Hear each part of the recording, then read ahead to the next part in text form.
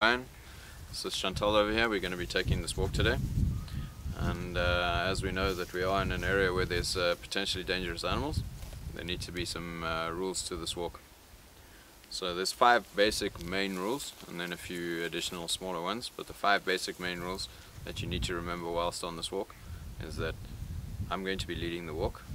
Okay, and if I give you a command at any stage, you need to react upon it immediately. Okay, then I'm also going to ask that we walk in single file, okay, with minimum noise. So that doesn't mean that you can't talk, but what it means is that uh, we, we should try to lower our voices. There's the dogs, they're calling.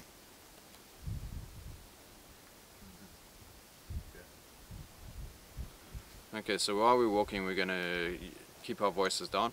If you want to get my attention, you can click your fingers, or you can slap your thigh, or anything like that, but uh, just don't shout at me because you never know, there might be an elephant hiding behind the bush and he hears that and well, then it could be quite awkward. As you can see, I'm carrying a very dangerous piece of equipment here. Okay, this is a 375 rifle. Okay, it's basically an elephant gun. Okay, and uh, so when I'm walking, I usually keep the barrel pointed ahead of me. So please do not go in front of the barrel.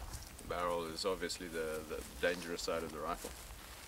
And if I put the rifle down, if I'm pointing something out on the, on the ground or something and I put the rifle against a tree or something like that, please don't go near it. Okay, and then probably the most important of all the rules is if we do come across anything dangerous, okay, under no circumstances, unless I tell you to, do you run, so no running. Okay, animals have this instinctive um, instinctive knowledge that if something's running away from them, they have the upper hand and they might as well give chase. So we don't run away from animals.